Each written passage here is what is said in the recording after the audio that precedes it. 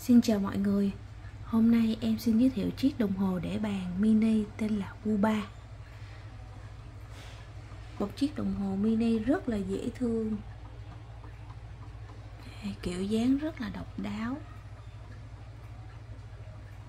Chiếc này trưng bày ngắm cả ngày không chán luôn.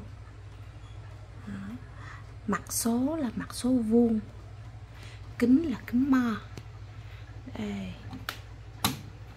đó, đây đó, kính là kính mo ha. Đây, em đi vào cận cái mặt cho mọi người xem ạ. Đây, thương hiệu Upa số là số nổi. Số trò nổi và cọc số cũng nổi. Đó. đây, có cái chân, bốn chân. Rất là dễ thương, độc đáo. Em này là cơ chế là lên cót hai lỗ cót 30 phút điểm giờ một lần. Đây. em mời mọi người thưởng âm của em nó ha.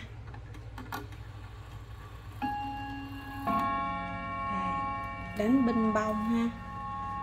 Âm thanh rất là dễ chịu, dễ thương.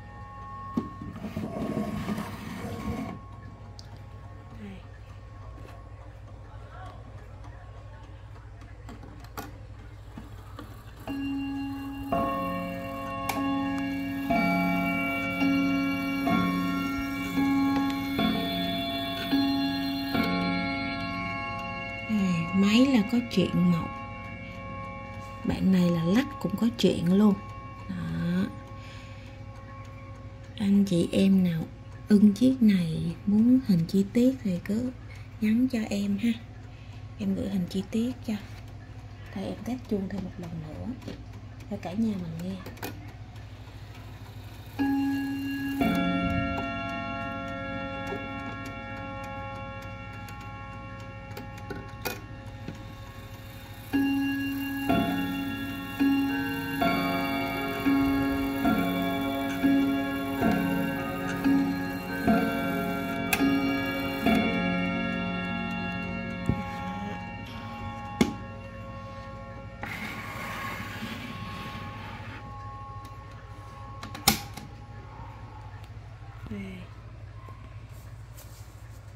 Em mời cả nhà mình xem chiếc đồng hồ tổng thể một lần nữa Đó.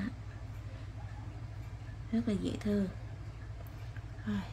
Em cảm ơn tất cả mọi người đã xem video của em Chúc mọi người một ngày vui vẻ